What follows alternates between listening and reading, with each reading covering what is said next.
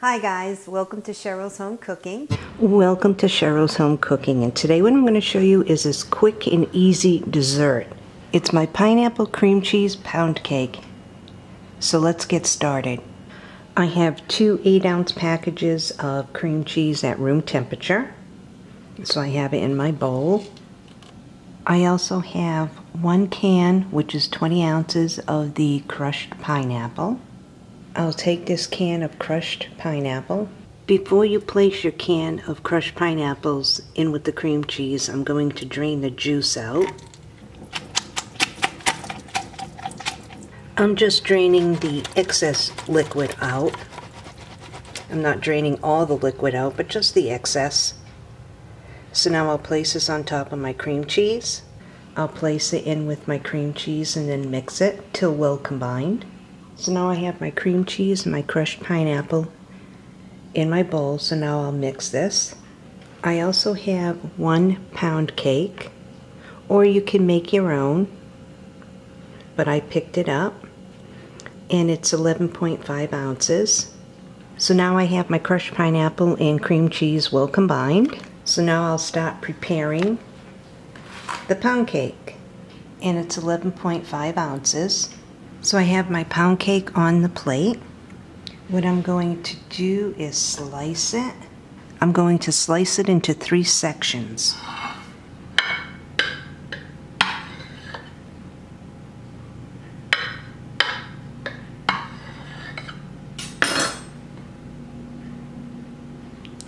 So I'll put the first two right here. I have the bottom. I'll take this mixture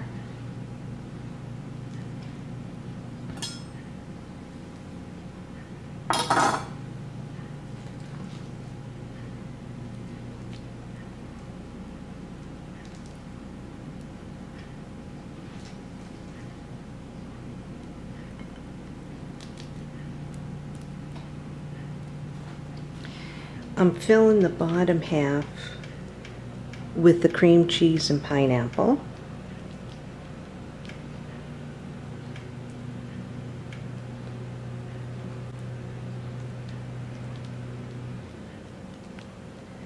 That looks good.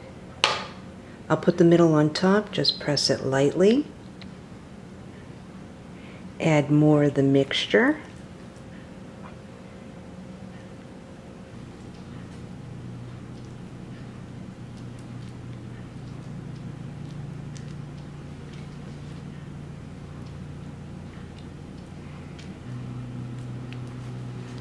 As I'm putting it on, I'm kind of also tapping it and kind of making it a little flat.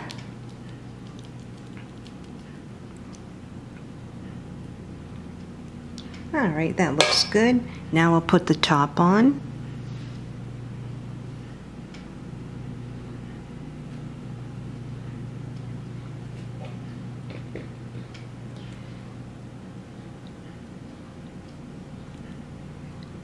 Smooth out the edges.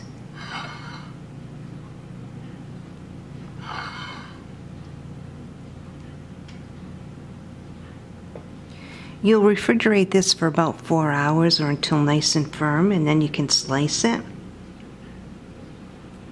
Then you can add whipped cream on top. See how simple and easy this was? And this is what I call my pineapple cream cheese pound cake. It's really good. So now I'll put saran wrap on top and place it in my fridge for four hours or, or until nice and firm. So into the fridge it goes. Perfect. Now I'll slice it. It's been in the fridge for four hours.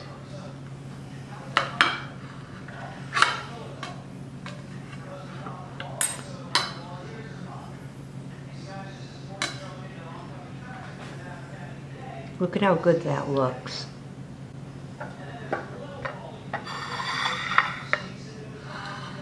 And you can see how nice it firmed up. Now I have a little whipped cream.